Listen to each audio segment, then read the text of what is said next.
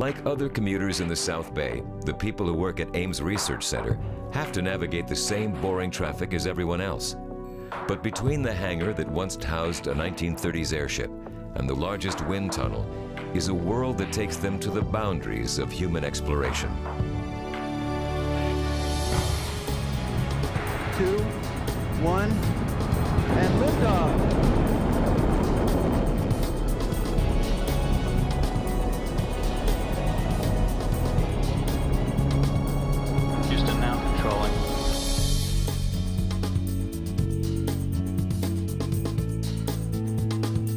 1960s, the concept of a space shuttle was pure science fiction until NASA and President Nixon announced the Space Transportation System in early 1972. This space vehicle would launch like a rocket to low Earth orbit. Its crew would release satellites and deliver parts for the space station.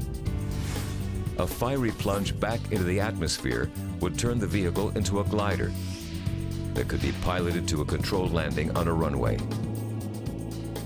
It would be the most complex machine ever built. On April 12, 1981, NASA successfully launched STS-1, the first shuttle mission. Safely accelerating this machine to 17,500 miles an hour required years of sophisticated aerodynamic tests. Over half of all wind tunnel tests for the shuttle were done at Ames. These facilities provided an unmatched range of sizes and speeds. In the 1970s, Ames tunnels allowed scientists to actually see complex shock waves created by the shuttle before the first orbiter, Columbia, ever flew.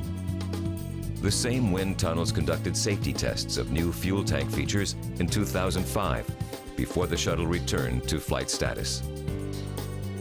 Ames computer simulations began in the 1970s and then improved exponentially.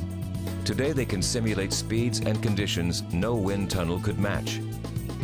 Work done on the Columbia supercomputer helped put the shuttle back into flight in 2005.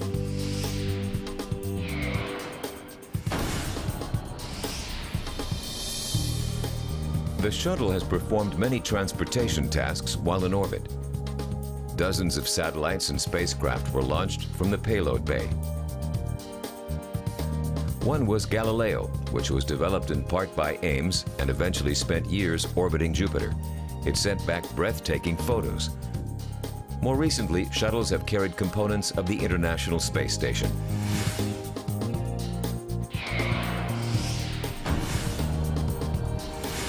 All astronauts agree the perspective from orbit is breathtaking, but not all of them are comfortable with zero gravity.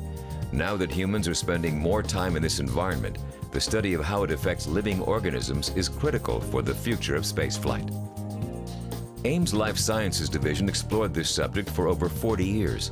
Some experiments were done on the ground and others were conducted on the shuttle. Flight experiments were installed in specially designed lab modules carried in the shuttle's payload bay. Starting in April of 1991, Ames participated in shuttle missions such as Space Lab Life Sciences 1 and 2, International Microgravity Labs 1 and 2, Space Lab J, and NeuroLab. These studied the effects of spaceflight conditions on plants, animals, and humans. Now we have a much better understanding of how zero gravity affects our balance and visual perception, how muscles, bone, and blood are affected, how immune systems change, and how plants grow. Results have already helped astronauts adapt to different gravity levels on missions and recover faster after landing.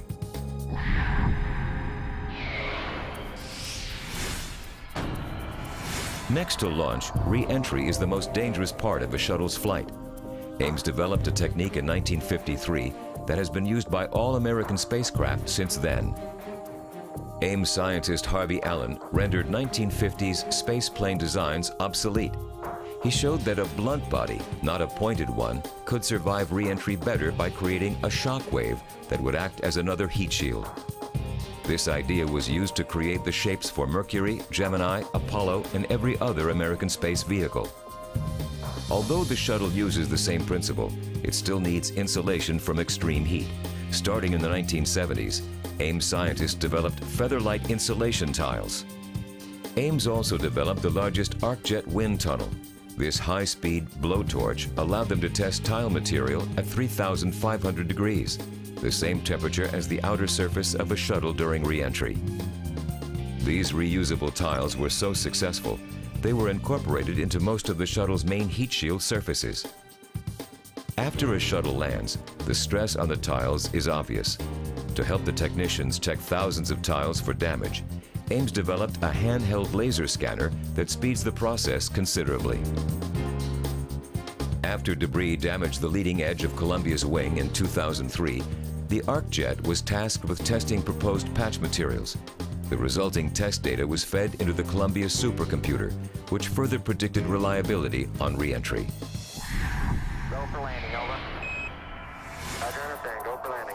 Okay, we're A shuttle during descent has been described like a brick with wings. An early question was how to give it effective flight control. Ames' earlier innovations provided a foundation for the shuttle's basic concept. Starting in 1957, Al Eggers and Sy Syvertson developed and tested lifting bodies, simple shapes that could survive re-entry and provide just enough lift and control so they could glide unpowered to a safe landing. High-altitude drop tests at Edwards Air Force Base in the 1960s proved their airworthiness. Before the Orbiter Enterprise was flight tested in 1977, Ames did extensive wind tunnel tests of the shuttle perched atop its 747 carrier aircraft. Starting in 1970, long before a final shuttle design, a flight simulator at Ames allowed astronauts to fly approaches while testing prototype flight controls. Astronauts Gordon Fullerton and Fred Haise practiced in a larger and movable simulator at Ames before climbing into the Enterprise. Minor control problems on the first flight were ironed out in the same simulator to improve later tests in 1977.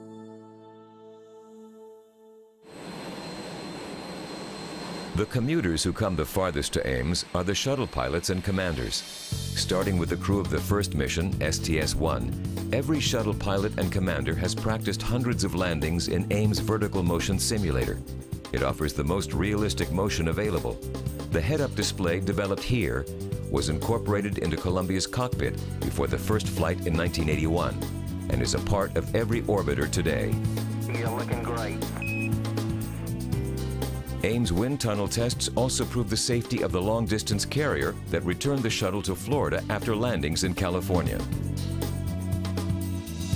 Today, NASA is developing the Crew Exploration Vehicle. This Apollo-shaped capsule will take astronauts back and forth to the moon. Like it has for over 40 years, Ames is contributing the same level of scientific expertise and craftsmanship to help create this new space vehicle. And like they always have, Ames staff is still working with one foot on the ground and another at the edge of human exploration.